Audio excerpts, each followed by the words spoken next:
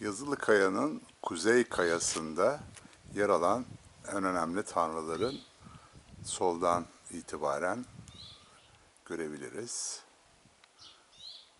En sol başta tahıl tanrısını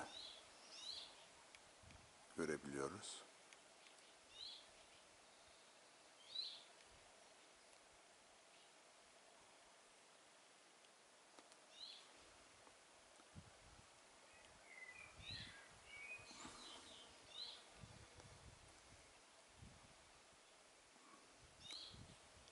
Daha sonra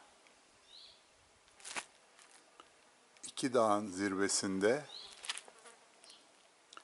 ayakta duran Hattuşa'nın fırtına tanrısıdır.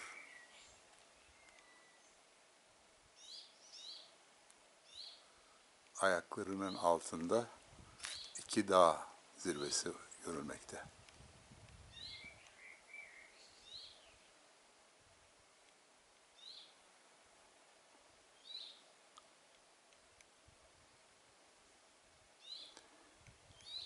Fırtına tanrısının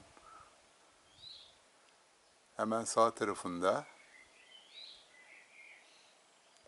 göklerin veya cennetin fırtına tanrısı Nazi ve Hat Hazzi kutsal dağlarının doruklarındadır.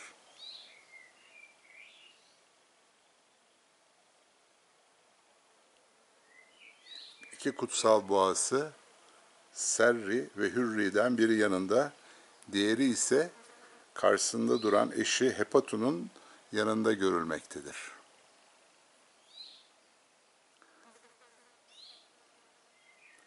Hürri dilinde Serri gündüz ve Hürri gece demektir.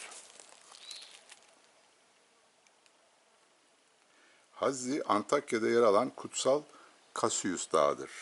Bugün Araplar Cebel Akra derken Türkler Kel Dağı diye kabul ederler.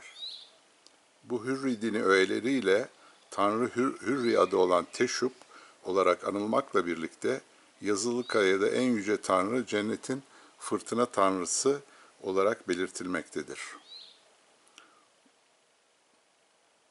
Uzun konik şapkası üzerinde beş eliptik şekil ile önlü arkalı altı adet boynuz yer alırken de yer alan Hattuş'a fırtına tanrısı ve 44'te yer alan Şarruma'nın sadece ön taraflarında boynuzları olan başlıkları bulunur.